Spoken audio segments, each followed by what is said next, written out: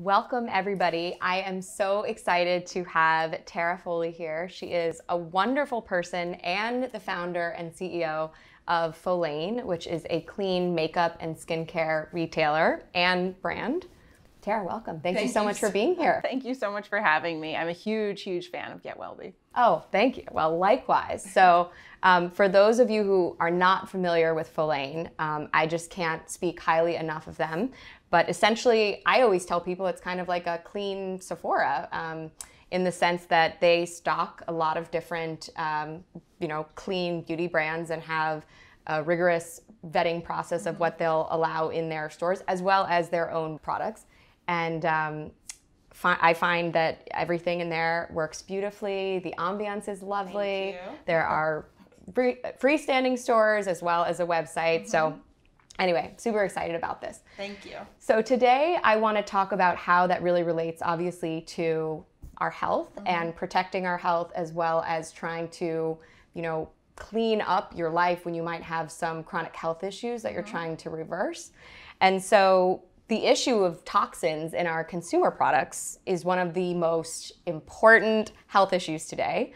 And how did you come to care about it enough to actually dedicate your life to it and start a brand in this space? So it's a great question. I actually kind of similarly to you, Adrienne, I was starting to focus on my own health and wellness for the very first time. This was when I was fresh out of college, actually. Um, years ago, I was living here in New York. This was 2008, and I was in a job that I hated, basically. And the only thing that felt really good was taking care of myself. So starting to cook for myself, starting to really focus on fitness and nutrition. I was practicing yoga every day. I was racing triathlons. I was getting pretty extreme with the health and wow. wellness stuff.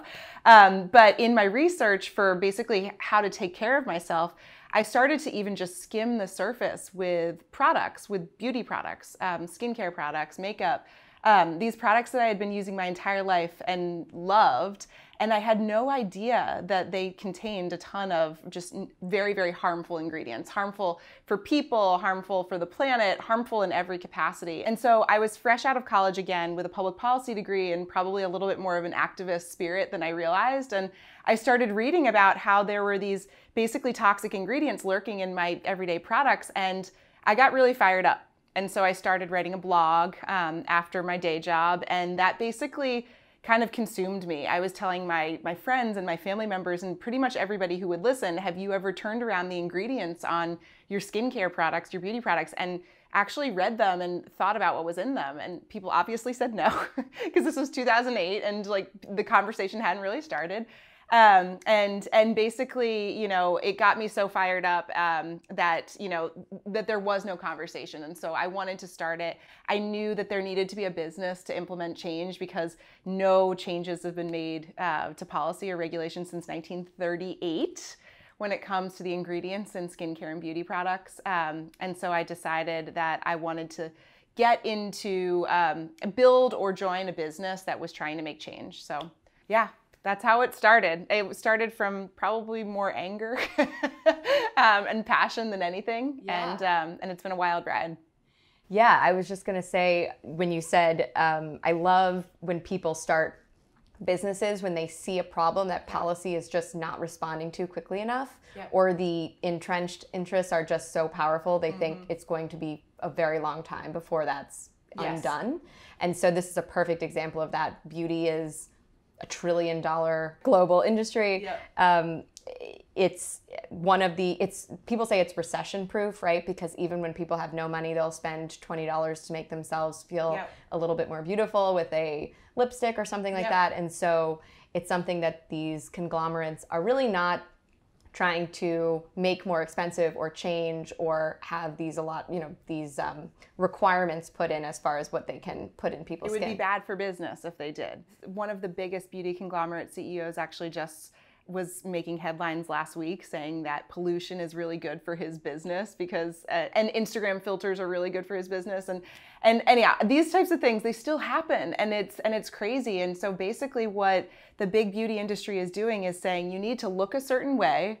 And by the way you need to use all of these toxic awful ingredients to get there. And that at the core is incredibly disrespectful to women. And um, and anyhow, and it's just going to continue to be that way um, as long as the companies are allowed to use these incredibly cheap ingredients because these ingredients are in there, you know, for preservation or performance, um, but they necessar- they don't necessarily do anything for you, and and ultimately a lot of the times that they they can be incredibly harmful.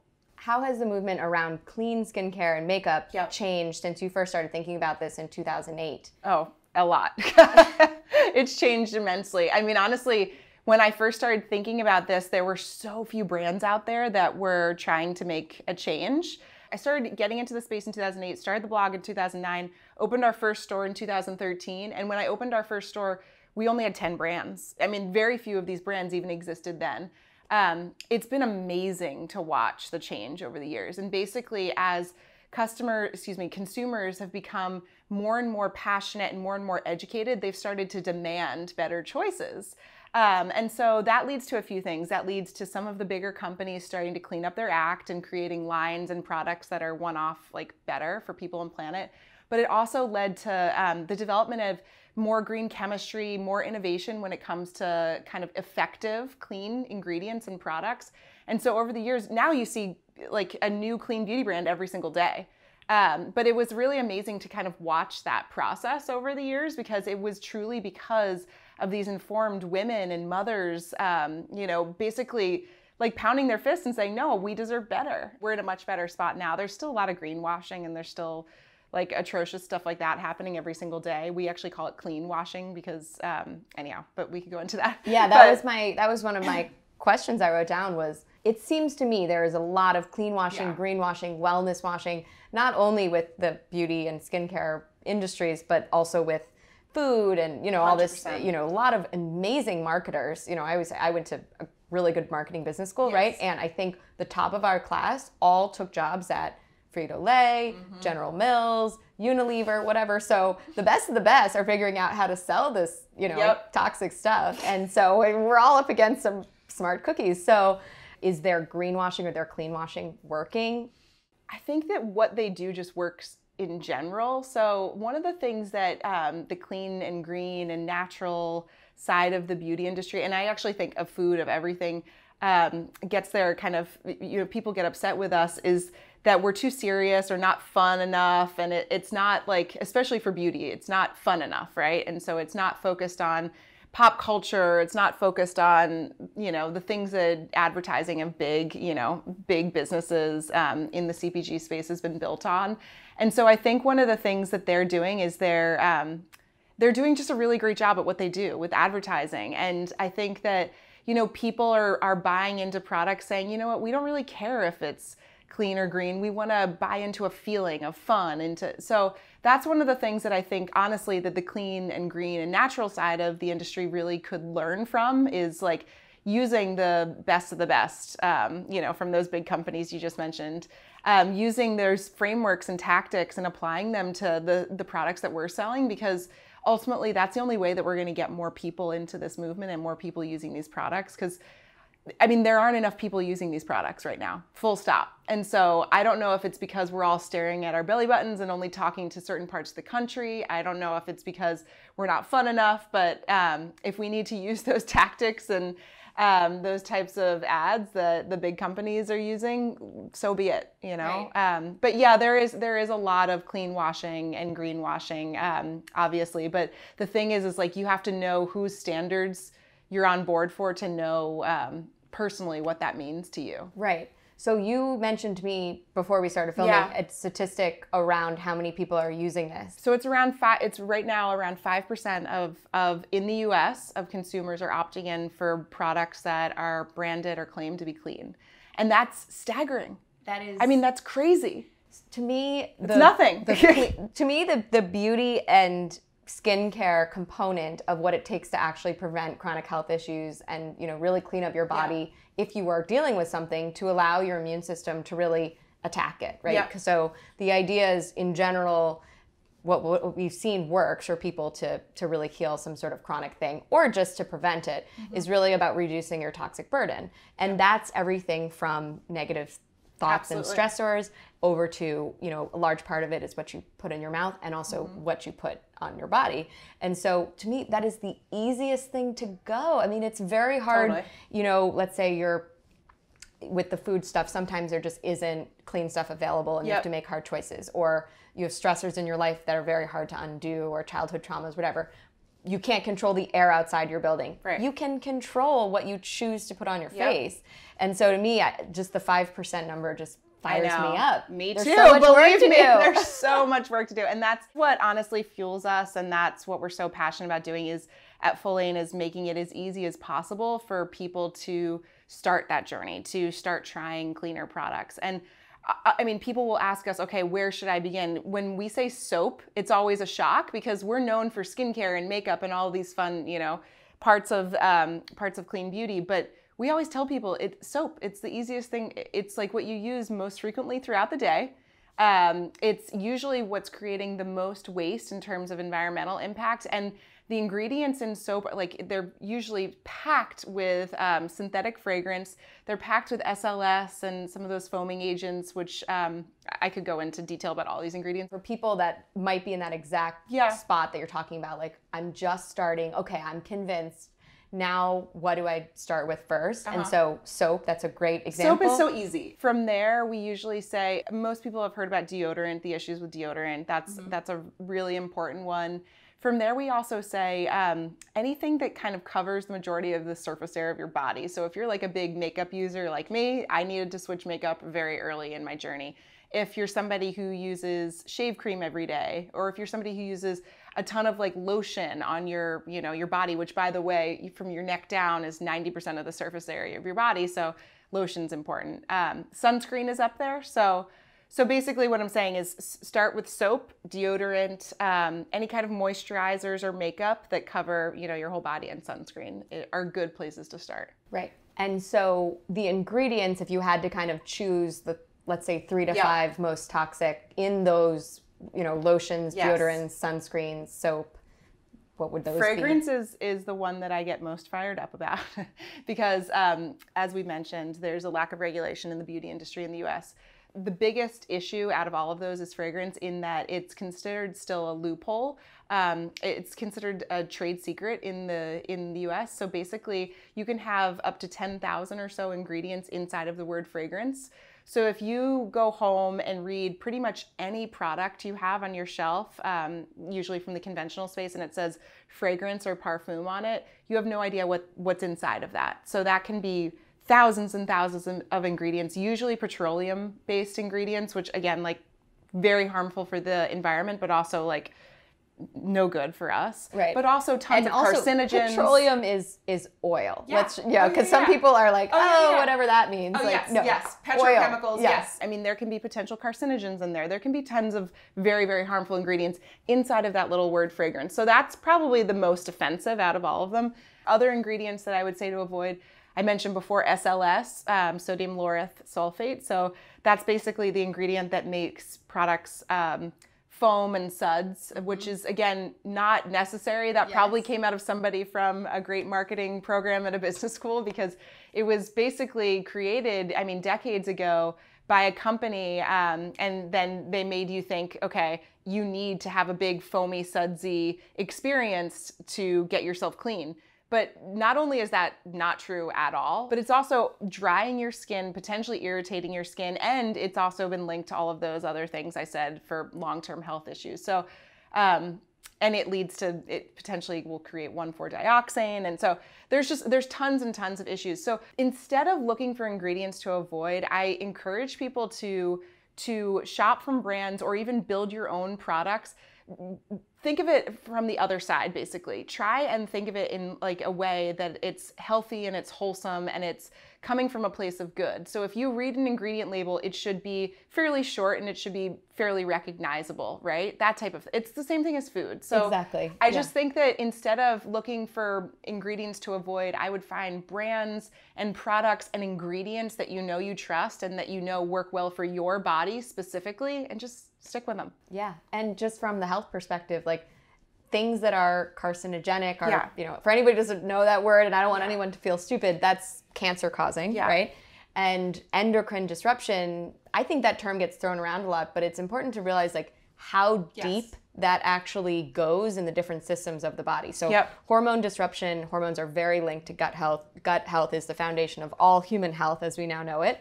And so when your gut is out of whack, your hormones are out of whack, you can disrupt your thyroid function, your adrenal function. Mm-hmm. All of these, it's a cascading series of events. Yep. And so it goes the other way too. When you have hormone disruption, it can lead to developmental issues. There's the gut brain connection. That's why a lot of these products for pregnant women are not allowed because then as it gets in utero, then it affects a fetus's brain. The the you possibilities and on and are on. endless, you know, and yeah. then that child is medicated and then yeah. those medications have serious side effects. So the the it sounds like a small thing to do. Like what's the big deal about putting, you know, my favorite bronzer on mm-hmm. every day? I mean, there's no way this is going to be the thing that takes me down. And yet Yep. It has so many implications for human health, like all throughout the different systems within your and body. And the thing is, is it's never just bronzer. You know, so your women are using like over upwards of 10, 15 products a day. And and, and so bronzer is one product in your whole lineup of your toothpaste, your deodorant, your hair like you know, go right. down the list, right? And so and that that adds up to a pretty serious toxic burden. Right. And these are ingredients that are bioaccumulative. Your body does not know how to break them down, and they're with you forever that's on top of the rest of the toxic situation of just living in 2019 yeah. yeah. and you know walking breathing down the, the street bringing the, breathing the smog with yeah. all the you know cars outside yeah it's you know when you you you are in an airport you really can't use anything but that you know toxic soap and sure. so you're already being exposed so the least you can do is what you can control at home and with your own products yeah. should be you know the stuff that's not causing harm and and as as i would always say like at what cost you know like is it really that big deal to have that exact thing that you have always been using? Like at what cost? And also, as you were saying, there's so many excellent other choices that work just as well. And I love seeing the back of a simple ingredients list that might yep. have you know one ingredient face oil that has just you know and it's something nourishing as you're saying like products that relate to beauty and skin, they don't have to be toxic and they can also actually be nourishing with things like avocado and That's the only reason why our business is growing and that's the only reason why this piece of the industry is growing because it actually works. The thing is is and we were talking about this before is that it's not as like benign um, and it does it's not as universal as conventional products so you really have to you know, hold somebody's hand through the process of finding the right thing for you. Um, you just brought up a great example single source face oils. So if somebody comes into the store and they say they have very sensitive skin and you know they've tried a lot of products that don't work for them, we have a long conversation with them and we may end up you know recommending just a plain rose hip seed oil and that's it. That's the only thing that's in the bottle. But that may work better for them than anything, any like quote unquote anti aging or whatever product they've ever used in their life because it, it's just like food. Once your body finds something, your skin is your largest, it's an organ, it's your largest organ. Once your once it finds something that it really likes, it's gonna make it glow and it's gonna and it's just it's going to make it thrive. So what we're in the business of doing is um, is matching people to the right ingredients and products for them. And that's how we believe we're going to make the ultimate biggest change, um, not just in the industry, but just with people's health, right? And and wellness and happiness and everything is because like you you should you deserve to use products that are healthy for you, healthy for the planet, but actually make you confident and make you glow. So right, and as I think it's similar to food in that there's no one diet for everybody, right. and we're all a makeup of you know trillions of microbes yes. that all interact with different foods and pro- and ingredients differently. And so, you know, I, that's why I don't really subscribe to like any one Same. diet for anything or Although like, are I've you paleo? Are yeah. you this? Are you that? and I am sort of subscribed to a general yeah. way of doing things. And I and I do believe in diets for like therapeutic reasons, right? Yes. Like you have an autoimmune condition, well, it's likely that you may want to try the autoimmune paleo diet first, see how that goes, mm-hmm. right? But the same thing with skincare, which I think a lot of people don't get, is like, oh, what's your favorite blank? And mm-hmm. I think people just like to know. So I'll say, oh, it's, you know, I use this face oil, this or that. But that may not be the product for you. Like that's your exactly skin is right. totally different from mine. So you but have to play different than the it. conventional space that we all grew up with and know so well. I mean, everybody in the entire country uses or used at some point Cetaphil, right? And because it's very benign, it doesn't doesn't do any harm, it doesn't do any good, it's just kind of there. Um, and so when people come in and we're recommending like very different textures and feels and everything in terms of face cleansers and moisturizers, it's it's often a big undertaking for them. So you really need to hold somebody's hand to find the right thing for you. Otherwise, the last thing we want people to do is to say, "Oh, all of clean and natural skincare and beauty doesn't work because they tried something that they basically didn't have a great reaction to." So I really encourage everybody listening and watching and anything to to find a friend or an expert or a retailer like us go or a brand go to Full find somebody to help you match you to the right products because that is kind of the benefit and then the um, the issue with clean is that you really need to you need some help in finding the right one for you. And also just if you are really busy and want to just order some things online and yeah. you know i always say done is better than perfect. Exactly. So if you've been putting off cleaning, you know, cleaning up your makeup act or your skincare act because you want to go talk to somebody about it at length and it's been years, like just order some stuff. Right. You know, try it out. Let's well, say we have quizzes on our it, site too. And You can take yeah. the quiz on Full yeah. but just you know, start the process yeah. because one foot in one direction is better That's than true. no feet in That's any true. directions. And also, half the things or 75% of the things may be exactly what you needed yeah. and all you have to do is worry about a few tweaks you exactly, know exactly. but at least you started the train in the right direction because That's a good point. every day that goes by that you're still putting the stuff on is like you know, come on, make it's make like when you run out of something, you should buy a new version in you know in a cleaner option. So exactly, like don't go back to something that you already know is but getting educated and knowing that you need to make the switch is the biggest battle, I think, for most people, which is why it's so great we're having this conversation today. Right, right. And hopefully some people are going to listen. I want to talk about the policy side of this because to me, the fact that there is so little consumer protection in the skincare and makeup space drives me insane and I know it gets you super fired up too. Yeah. So we should talk about that. And you live and breathe this, you know more than I do, a lot more than I do about the policy side. So I know that uh, Dianne Feinstein, who's a Democratic senator from California, as well as Susan Collins, who's a Republican senator from Maine, introduced the Personal Care Product Safety Act to the Senate um, in March of 2019. Mm-hmm. So I was excited by this, but there's a lot behind the scenes that you know about. So, you know, Follain was one of the on the list of companies that supports this bill, mm-hmm. and I know that you went down and lobbied uh, mm-hmm. Congress in 2017 for it.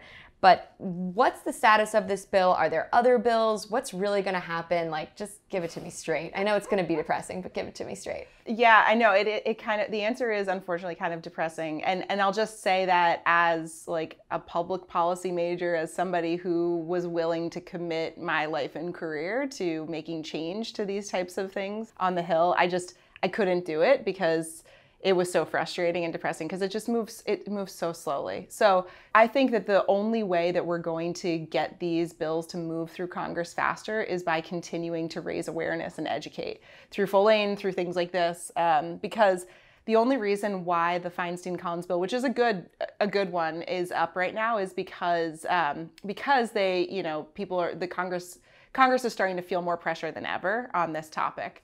Um, and so obviously it's a huge, this is a huge industry and it creates so many jobs. So there are still a lot of issues with that bill. So one example um, that I brought up earlier is that I think it only reviews five ingredients a year, uh, which is just like not okay. First of all, it hasn't been passed yet. So, like, let's just get it passed, right? Um, and that's going to take a while in and of itself because it continues to get punted, punted, punted. Um, but then if it does pass, you know, it will only um, Uh, have five ingredients a year up for the FDA to review, which by the way is kind of that would be a lot because they don't really have a staff or team dedicated to this. So it doesn't include like bringing in more team members to do this. That's why it's only five ingredients a year. But that's not okay because thousands and thousands of ingredients exist and come onto the market every single, right, single year. Say, tell people for yeah. reference how many are yes, coming in because silly. five is like okay if it's, it's silly, 10, but if it's thousands, I it's, mean, it's silly. It's a drop it's silly. in the bucket. Yeah, yeah, it's a drop in the bucket. Um, other things that it does that that would be really positive um, was that it uh, would require product recalls. So. Um, So I'm sure some people listening or watching it remember about the issue with Wen Hair Care years ago, and it was making um, all of these customers go bald, and basically they weren't required to do anything because there is no requirement for companies to have a formal product recall right now in the U.S. So that's a really positive thing that the bill would do.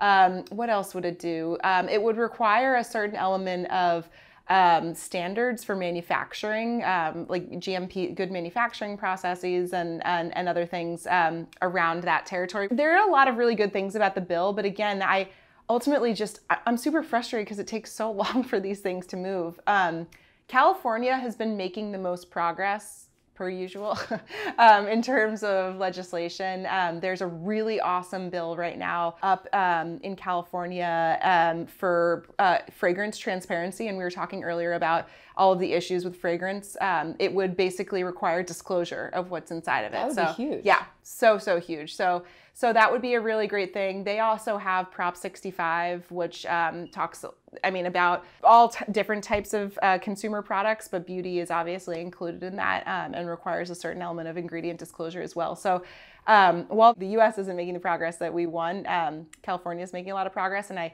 and I think that um, obviously products that are sold on e-commerce like you know you have to fit the california standards so it would be great if they continued to move the needle and move move things forward we're not going to be able to do it maybe on the policy side for now, which is really. Um, I mean, we might we might be able to if people continue to demand better. You know, right? That's what I was going to say. Like, yeah. what can we as consumer advocates do? Vote with your dollar. Right. Yeah. Was, that's yeah. basically what I've learned is that you know, um, industry moves so much faster than government. So think about the organic food movement, right? Yeah. Like they didn't require that all foods be made organically, and maybe that will never happen, but the amount of food that's now being grown organically or that's available in different areas um, because of consumer pressure mm-hmm. to they want to buy it and so mm-hmm. all of these different retailers walmart and costco costco mm-hmm. is one of the biggest, the biggest, organic yep. retailers out there yep. Um, and so that all happened fairly quickly when you look at when the pressure really yeah. um, started started um, being mounted and that really came from awareness and education so i think if we do the same things on the beauty and skincare side and people are saying this is crazy i don't want this then some of these more national retailers will exactly have to right. respond and Follain will just take over the world and then we'll have you guys to go that. buy that. but that's why I decided after, you know, so discovering this in 2008, starting the blog in 2009, then I went to business school after that to try and work on a plan for this and ultimately that's why I decided to open a re- retailer as opposed to a brand because as a retailer, you have the ability to set a policy and a standard for many brands. And so basically, what I spent a long time doing was figuring out with environmental health experts, scientists, chemists, what our standard was going to be and what ingredients we weren't going to allow in within those four walls of the stores. Um, and what ingredients we were going to allow and, and and and even from there how we are going to set the standard for performance because the products have to actually work and do what they claim to. So, um, so that basically gave, as a retailer, it gives us the ability to set a standard that, in the absence of a, you know, a USDA organic, right, which the food industry is so lucky to have. Um, but also isn't perfect in so many ways. Um, it gave us the ability to set our own standards. So, so at least consumers can know that when they walk into our store or go onto our site, everything's been vetted and meets that standard. I love that, and that was actually one of my questions today like how, how did you even start that? And is there a way to kind of sum up in you know less than a minute what your standard is or not really? It's very complicated i'm no, sure. I mean i think our standard really is safety and performance. And so the safety side is guided by a restricted substance list that we built um, again with a bunch of green chemists, environmental health experts, policy experts, um, and we it was the first of its kind in the beauty specific space. Obviously, Whole Foods had their whole body standard, but ours was very different eh, because of a few different reasons. But um, so anyhow, so we have that our safety standard, and then um, basically we say that everything needs to come from a need. So we don't over assort in our store. So we're extremely curated.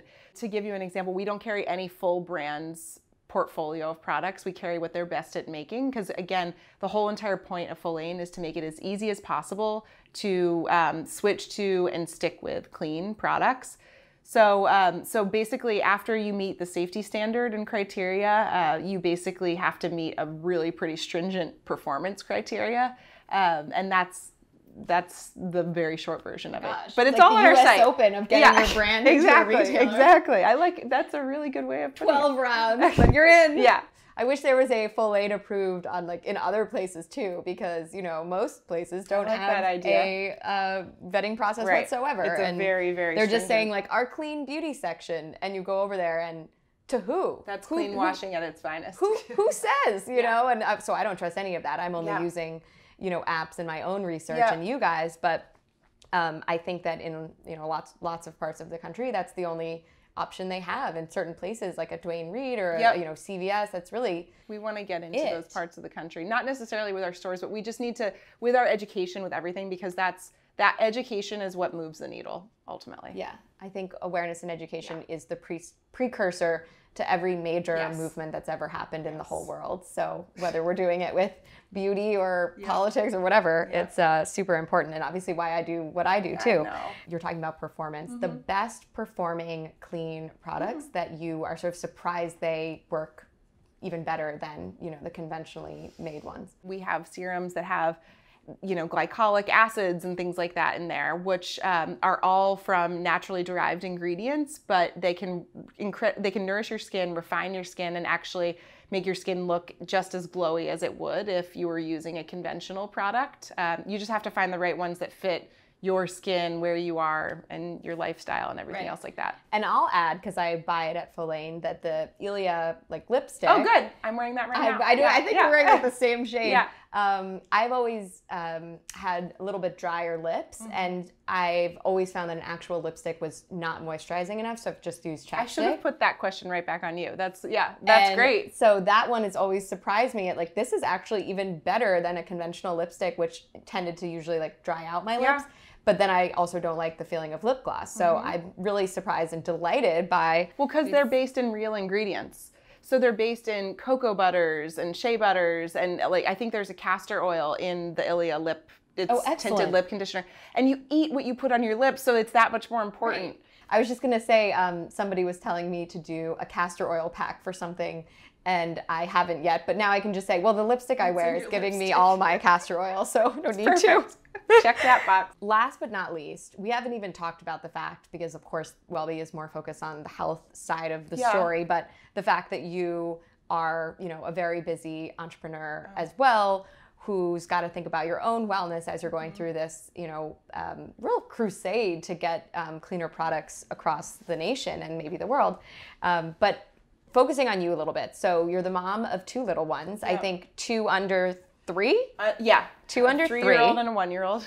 which is just amazing. And you've got 30 employees at this point, or More than that, for sure. or- Probably, yeah, around 50 right now. yeah. So that's just like a kind of a lot Across of all the stores, because we have six stores, that's why. Yeah. yeah. So just for you know, for people who are interested in actually going to one of your stores, so you're in DC. We're, yep, yep, in DC, in Boston, in New York, in Seattle, and in Dallas.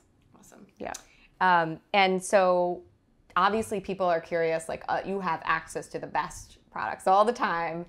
What are you always using For um, myself? For yourself, and I know you're probably using a lot of things, but just kind of your like everyday stuff. Okay. That's a really hard question because I'm always testing new things to bring in. Right. Um, and I also am just a product junkie, Or so not- I use a lot of things. Or not the brands necessarily, because I'm sure you're always trying different Yeah. brands. Um, but just kind of like the actual Products. Product, yeah. At night, I have a much more involved routine than in the morning. So um, at night, your skin has the chance to kind of like regenerate and absorb nutrients from products. So I invest in a longer routine um, and more products at night. And then in the morning, just you're exposed to the environmental stuff in the air, you're exposed to sunlight, you sweat, um, all of those things. So I literally just wash my face with water in the morning. Um, to not undo all the good goodness that the products at night did, and then also just because, and then I'll just literally put on a face oil and a usually a sunscreen in the morning, super basic. And then I, I like makeup, so I'll wear some of that sometimes. Um, and then at night I do a lot of stuff. do you really want to know? I'll tell Really, you. I'll, do- rapid I'll go. I'll go rapid Yeah. fire. Okay. So um, I'll I'll usually use two cleansers. So I'll start with an oil or balm cleanser to re- remove my makeup, but also because it's a really nice experience. Um, and then I'll use another gentle cleanser to actually clean my skin. Then I'll use a toner. Um, which helps oils and moisturizers absorb in better. Um, in the clean beauty space, it's really important. Then I'll use an oil, um, and then I'll usually use a serum, and then I'll probably do an eye cream or cream or something like that on top. You know, when you said you use a lot of products, that that's kind of there's only a few more that you use that I. So really, okay. I think that's a normal. Oh, good. Maybe somewhat of a normal woman's like night yeah. routine. I, it I, feels very indulgent, to be honest, because that's that is my time for myself. It is insane during the day. I'm just like I feel like I'm sprinting on a treadmill. You know, between working and and everything with our kids and then you know trying to exercise doing every, i'm literally sprinting on a treadmill i when i go into the bathroom and shut the door to do my evening skincare routine that is like kind of the most meditative moment I have to myself. So I think I really indulge in all of those steps. So maybe I think that they're that there's more involved than there is because um, that's my kind of my special time for myself as cliche as that sounds no i get that really important i get that completely and it is i usually have a couple minutes in my bathroom before i get in bed yep. alone and i do a little bit less than you but it is also this moment where i find myself slowing down finally mm-hmm. and like feeling my fingers on my yep. face and actually the being in my body yeah. for the maybe the first time all day, yeah. which is terrible, um, but super important to just kind of uh, realize that you're a human being yes. and that you know feel yourself and yeah. not just operate, you know, drinking from a fire hose and yes, um, you know, out of consciousness, as they say, right? So besides the skincare products, um, we have a, something that we ask everybody that we've interviewed at WellBe called the Get WellBe mm-hmm. series. So essentially, just understanding what your absolute can't miss practices that you do to keep yourself well every day. And this can be one thing, two things, three things, whatever. I mean, most people, you know, don't have that many um, that they won't miss. You know, it's the stuff that's really important to them. They know it works mm-hmm. for their mental well-being or their immune system support or whatever. So for starters, I get WellBe with my evening skincare routine every single night. That's, I mean, table stakes for me. Um, it's the moment that I take for myself to close the door, and um, it's meditative, it's indulgent, um, and I have to do that every single day. I also get WellBe by um, stretching and taking a moment to myself in the morning. Um, where it's just me. So, kind of that's the beginning and end of the day where I have like a time where it's just I mean, when you have a team and you have kids and you have everything, there's a lot of moments where you're surrounded by by others, and I need to have a moment where I'm taking deep breaths and focus on only that. Um, and those are my two moments. That's amazing. I was just going to say, I don't really know any moms that get a moment to themselves right when they wake up because somebody's usually screaming and you got to go get they them. They are. They are. And so I'll usually do it before they wake up or I'll do it right before I leave to go do something um, like to go to work or to drop off for school or something like that. But I'll always take a moment. Or sometimes it's after I drop them off. But yeah. Wow. Well, you're holding it together very well, and you look, your skin looks wonderful for anybody so that yours. can't see. Thank you. Well, I'm using almost all the light I stuff. know. It looks good. Um, well, thank you so much for being here today, Tara. I admire you so much, as I mentioned, and I just hope that um, that 5% that you mentioned of the country that's actually yeah, using clean products on their skin um, really you know that number shoots up. And i think everything that you're doing with your awareness and education as well as obviously being able to offer people these you know high performing high quality safe products um, is also the answer because yeah. if there's nothing else, you know, people are going to keep using yeah. the bad stuff. So that's all super important. And I think you're on the right track to make Thank some yeah. serious change. And now we'll just all have to get together and, you know, WellBe and Follain lobbying session and take on the big guns and see if we can't um, continue the policy side of it too, because I think um, that all it does is important. people continuing the conversation and then it'll get to the right places so yeah and also i think people being empowered in their own health yep. and not waiting for someone to put a this is banned or you know yep. um, a label or usda organic or whatever on something but just to understand that you know at the end of the day it's your body is the only home that you yes. have forever yes. and as we say at WellBe the 100 choices that you make a day are really your true health care um, and so when I you love that Thanks. so you know when you when you think about it that way it's so much easier and you also can feel better that you'll be able to avoid the healthcare system simply by making slightly different choices exactly. every single day and not kind of getting into the mess of that if yeah. you you know emergencies aside if you really understand that you know like you said your skin is your biggest organ and every single thing that you put in it impacts it in so many different ways. Yes. So awesome. Well thank you so much again. Thank this you so much for having me. a true pleasure